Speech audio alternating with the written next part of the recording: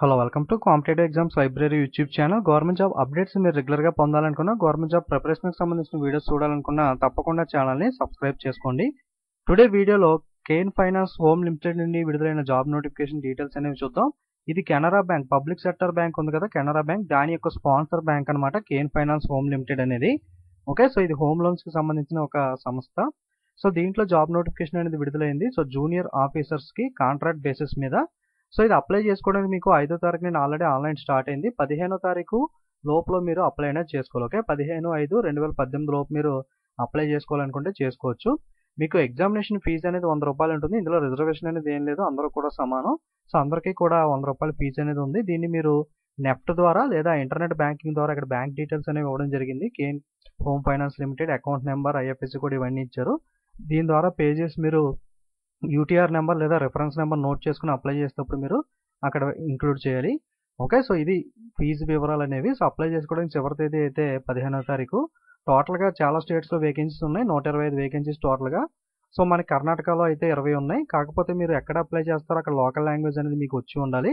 ఆంధ్రప్రదేశ్ తీసుకుంటే పది వేకెన్సీస్ అనేవి ఉన్నాయి. ఎక్కడెక్కడ అంటే గుంటూరు కర్నూలు ఒంగోలు విజయవాడ భీమవరం కడప మంగళగిరి నెల్లూరు తిరుపతి. ఈ ఏరియాలో మీకు పది వేకెన్సీస్ అయినా ఉన్నాయి. మీరు ఈ ఏరియా వారైనా అప్లై చేసుకోవచ్చు. వేరే ఏరియాలో సరే అప్లై అనేది చేసుకోవచ్చు. ప్రాబ్లం లేదు.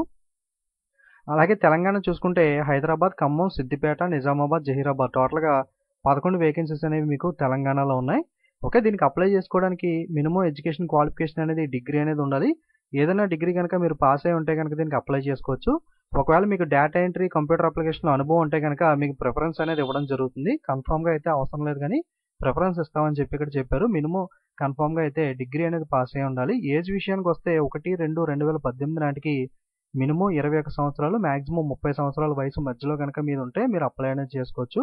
ఇక్కడ ఎక్స్క్లూజివ్ డేట్ ఆఫ్ బర్త్స్ అనేవి ఇచ్చారు. ఒకటి ఐదు పంతొమ్మిది వందల ఎనభై ఎనిమిది అలాగే ఒకటి ఐదు పంతొమ్మిది వందల తొంభై ఏడు. ఈ మధ్యలో మీ డేట్ ఆఫ్ బర్త్స్ ఉంటే కనుక మీరు అప్లై అనేది చేసుకోవచ్చు. ఓకే సో ఎక్కడైతే అప్లై చేస్తున్నారో ఆ లోకల్ లాంగ్వేజ్ అనేది రీజియన్ లాంగ్వేజ్ ఉంటుంది కదా స్పీక్ రీడ్ రైట్ అనేది వచ్చి ఉండాలి. సో కాబట్టి మీరు ఏ స్టేట్లో అప్లై చేయాలనుకున్నా చేయొచ్చు కానీ ఇవి వస్తే కనుక మీరు అప్లై అనేది చేసుకోవచ్చు. ఓకే సో ఇది ఒకటి గుర్తుపెట్టుకోండి. జాబ్ ప్రొఫైల్ అనేది మీకు attending the customers documentation scanning of documents data entry అలాగే marketing of house loans making phone calls to the customers for business recoveries undertaking recovery visits ఇలాంటివన్నీ కూడా వర్క్ ఉండేది ఉంటుంది. ఇక్కడ జాబ్ ప్రొఫైల్ ఇవ్వడం జరిగింది. ఓకే అలాగే ఇది కాంట్రాక్ట్ జాబ్ అది కూడా మైండ్లో పెట్టుకోండి.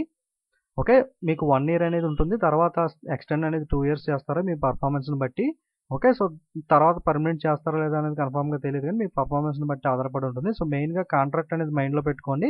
సో మీకు ఇంట్రెస్ట్ ఉంటే కనుక కాంట్రాక్ట్ జాబ్ అయినా సరే జాబ్ అనేది బాగా నీడ్ అనుకుంటే కనుక మీరు అప్లై అనేది చేసుకోవచ్చు.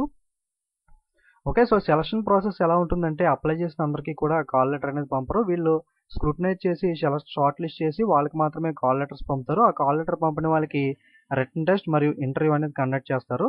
మీకు ఈ ఇంటర్వ్యూ మరియు రిటర్న్ టెస్ట్కి ఎగ్జామ్కి వెళ్ళడానికి ట్రైన్ లేదా బస్ టికెట్ అనేది కూడా వాళ్ళు ప్రొవైడ్ చేస్తామని చెప్పారు. డీటెయిల్స్ అనేవి ఇచ్చారు. ఓకే? రిటర్న్ టెస్ట్ మరియు ఇంటర్వ్యూ బట్ అందరికీ అయితే పంపరు. వాళ్ళు షార్ట్ లిస్ట్ చేసి కొంతమందికి మాత్రమే ఇది పంపుతారు. ఓకే? మీకు నోటిఫికేషన్ లింక్ అనేది డిస్క్రిప్షన్లో ఇస్తాను. మీరు కూడా ఇంట్రెస్ట్ ఉంటే కనుక ఏ టు జెడ్ డీటెయిల్స్ అన్ని కూడా క్లియర్గా చదువుకున్న తర్వాత అప్లై అనేది చేయండి. ఓకే? Thank you